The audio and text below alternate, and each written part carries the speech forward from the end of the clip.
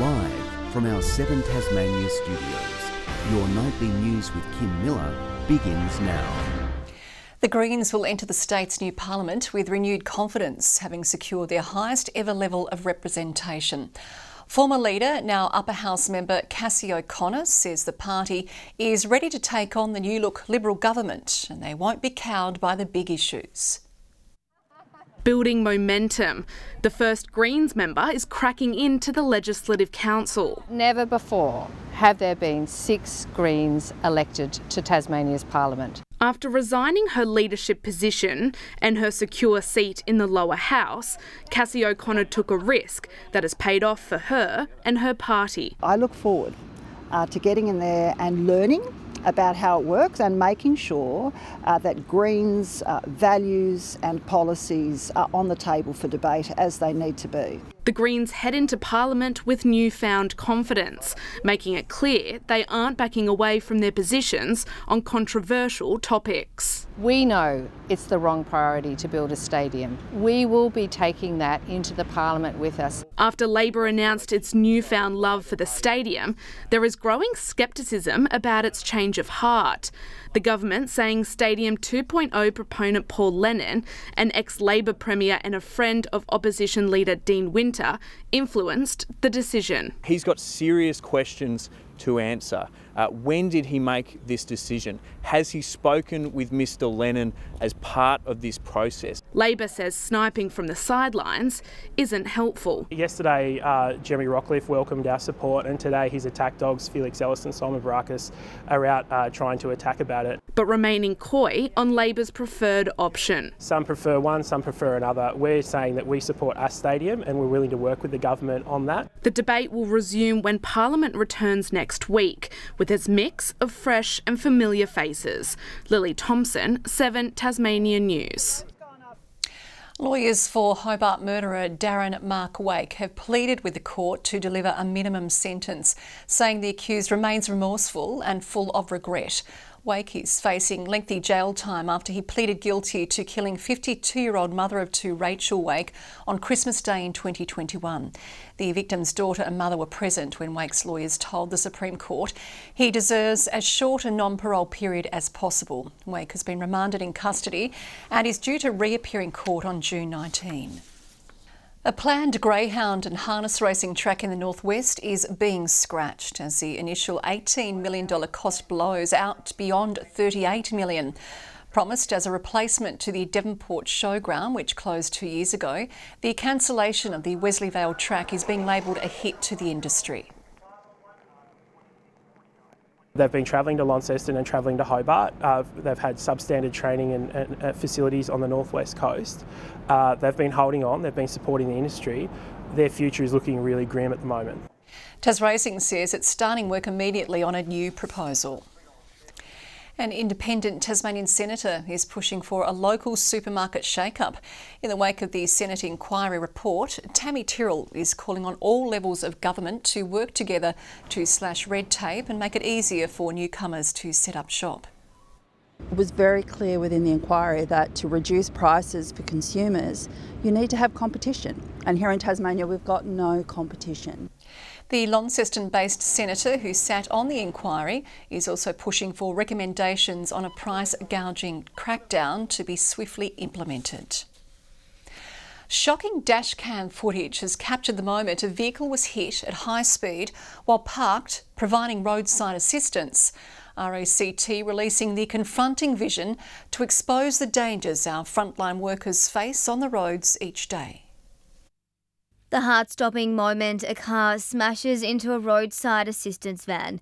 Bright yellow flashing lights not enough to prevent this frightening nighttime collision. Despite all these precautions, uh, you can see the results. Uh, fortunately, no one was seriously hurt, but that could so easily have been a different outcome. The RACT sharing the vision as part of Road Safety Week serving as a stark reminder to drivers to slow down to protect those who protect and assist us. They do their very best to protect themselves, our members and the general public, but we ask all Tasmanians to think about making sure they slow down when they see the flashing lights.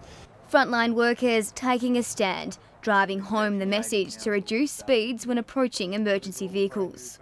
People are not heeding the warnings to slow down. It doesn't take much and it could make a big impact in terms of saving someone's life. The warning comes as police crack down on poor driver behaviour, launching a statewide operation to stamp out those breaking the rules. Through all their geographical areas, are making a day of action to focus on enforcing the road rules and continuing to keep the community safe. As the state government pushes towards new legislation, putting drivers doing the wrong thing on notice.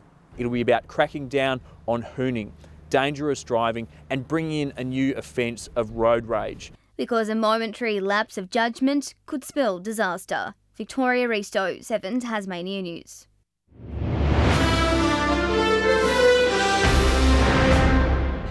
Child abuse victim survivors and advocates have held tough but important conversations to address rates of family violence in the state.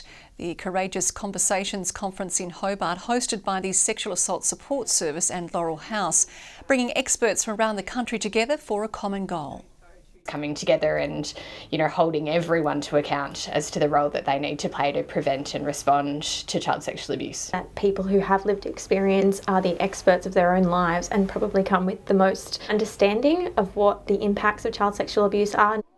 Plans are now underway to take the event to other parts of the state. While Tasmania's workforce continues to struggle to attract employees, a leadership program has been launched to encourage and groom potential talent. More than 30 individuals are participating in the first of its kind course designed to not only upskill but also keep leaders in Tasmania. Stepping up, more than 30 promising future leaders being prepped to take the reins in their respective fields. Oliver Oxley is among them. I believe it's just the next step in my leadership journey, learning more about myself, about the people I manage, and how I can be a better leader for them as well. The 31 year old is the venue manager at Du Cane Brewing in Launceston. He hopes the program will hone his leadership skills. I really enjoy fostering a, a good environment for people to feel like they can enjoy hospitality again because I feel like sort of got a bad rap last maybe decade. The two month intensive course is a first of its kind, demonstrating that the best way to lead others is through self development. Tasmanian Leaders CEO Angela Driver says the private sector and not for profits are constantly on the hunt for talent. I think there's an incredible flux globally around people staying in jobs for shorter periods of time. So we've got this, you know, unique opportunity to grab people where they're at and really fast track them up to where we need to be. Federal Group is partnering with Tasmanian leaders to deliver the program, which comes amid a massive skills shortage affecting industries across the country. Latest national job ads data showing an 18% drop last month. There are hopes that by encouraging and supporting future leaders, more workers will ultimately choose to stay in Tasmania.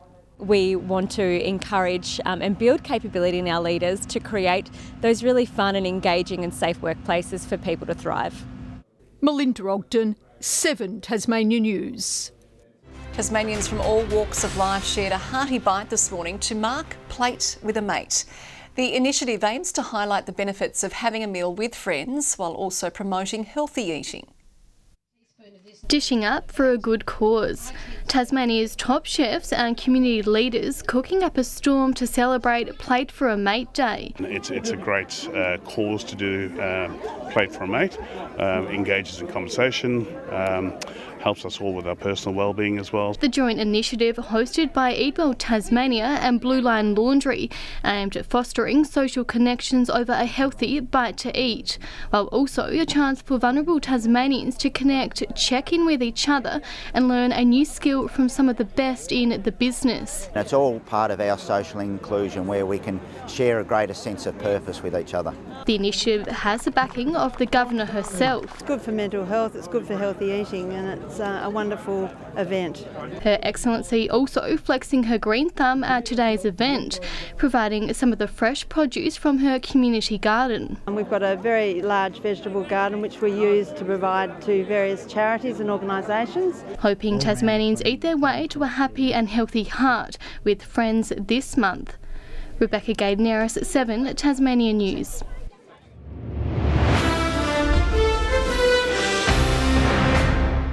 Having just arrived from Europe on Friday afternoon, jet lag didn't seem to be an issue for Belgian import Laurie Davo, running out for the Tornadoes the following night. With the squad now complete, they can feel good things brewing between Davo, Trinity Oliver and Keely Froling, taking a chance to gel after that rushed introduction. Learning how to play the plays on the court and like what we were gonna do in defense and stuff. So it was a lot of information in a short time right before the game. Having each other's back and, and learning how each other plays, I think that that's just going to grow as practice uh, continues and games keep going. So, um, yeah, just time. That's all we need is a little bit more time. The Chargers women's coach says the team's getting frustrated at times as they struggle to pick up momentum. The men's coach, on the other hand, is feeling blessed to have the Jack Jumpers captain helping guide his troops. Clint Steindl's been around a long time. You're not going to teach him anything. It's more what he can educate the team and even the coaches and what what's working, what's not working. It's just great to have someone with that experience that I can fall onto. The Chargers, Tawns and Thunder all play Melbourne Tigers this weekend. North Esk and Lindisfarne rowing clubs are second and third in the medal tally after day one of the Australian Masters Rowing Championships at Lake Barrington. 800 competitors from around the nation and across the ditch are competing there until Saturday. Melbourne's currently leading with five goals. It's 100 days until supercars return to Symmons Plains for the Tasmanian Super Sprint from August 16. This year's Tassie trip comes a bit later than usual, the winter conditions posing some fresh challenges for drivers and their teams. Qualifying will be interesting, how we get the tyre temperature up and the races as well because there are no tyre warmers in supercars. So normally it's hard getting the tyres up when you pit, but I think this is going to add another complexion because it is going to be so cold. It'll be an important leg on the Supercars tour leading into the endurance races at Sandown and Bathurst. It's an exciting day for Tassie Devil and former Old Scotch player Janisha Kikoke. After missing out on last year's AFLW draft, the 18-year-old's been handed a contract with the Dockers. She'll move to Perth in time for the pre-season in June. A big chance awaits Burnie's Taran Armstrong, the Cairns Taipan and Australian boomer, one of 45 basketballers invited to attend the NBA G League elite camp this weekend in Chicago.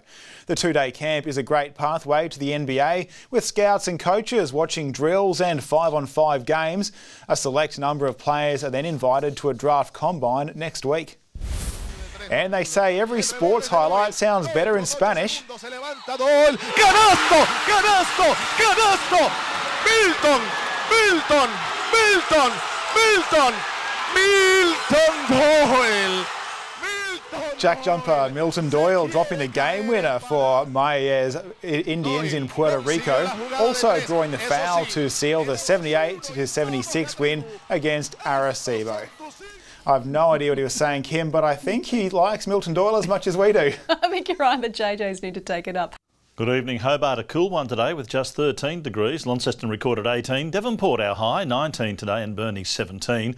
Cooler temperatures over the east and south. Flinders Island however and Low Head 18. King Island, St Helens and Strahan 17. Friendly Beaches 15. Grove and Bushy Park 14 degrees. Liawenee pipped by Lake St Clair and Fingal's 1 degree for the low overnight. Some low cloud covered most of the south and east today. A few showers around Hobart. The mountain copped around 12 millimetres and Mount Seymour 8 millimetres. The east coast of the mainland can't seem to shake the cloud there. High cloud over inland parts of eastern Australia as well. Tomorrow we have a high to the southeast and another to the southwest. A trough lies over inland Queensland.